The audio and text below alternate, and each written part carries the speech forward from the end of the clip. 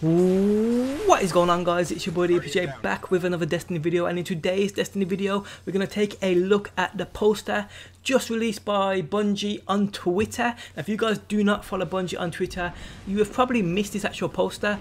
Now it is basically the confirmation of the Dark Below release date and what we will be getting in the actual DLC. Now before we get into the video can I just state if you guys are new to my channel and enjoy that daily Destiny content make sure you subscribe. And if you do enjoy the video do help me have a like I do appreciate the support. Now getting into the video the release date this is speculation around the release date but it's been confirmed now that it is the 9th of December 2014 so it's not too long to wait for more shit to be injected into the game. Shit that is needed in my opinion to keep the longevity of this game going then we can see at the bottom of this poster it states new weapons, armor and gear which I have done a video on already. If you guys would like to check that out I'll put that at the top of that video description.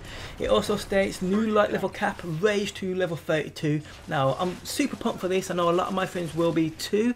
I ain't even reached level 30 yet but hopefully I will before this actual expansion 1 DLC comes out. Also, new cooperative strikes. I think there's more than one. It says strike there, but I do think there's more than one. We've got three multiplayer arenas, basically PvP maps, new story missions, and we've also got a new six-player raid, and that is called the Crota's End raid.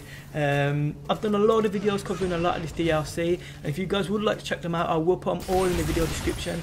I've got a video basically showing you guys all the new story missions, the cooperative strikes, and the weapons and armors like I said so they will all be in the top of that video description if you want to check them out. But guys if you did miss this poster tell me your thoughts on it. What do you think about it? Will you be getting the DLC will you not be? Because I know a lot of people are pissed off about how Activision and Bungie basically has all this information in the game already ready for us but they're just basically opening the game up. So we've already got this information and a lot of people are pissed off about it saying they're not going to pay for the DLC because basically it should have been in the game from the start. But what do you guys think? Let me know down below. Me I'm definitely getting the DLC for sure. But guys if you enjoyed the video do drop a like. I do appreciate the support.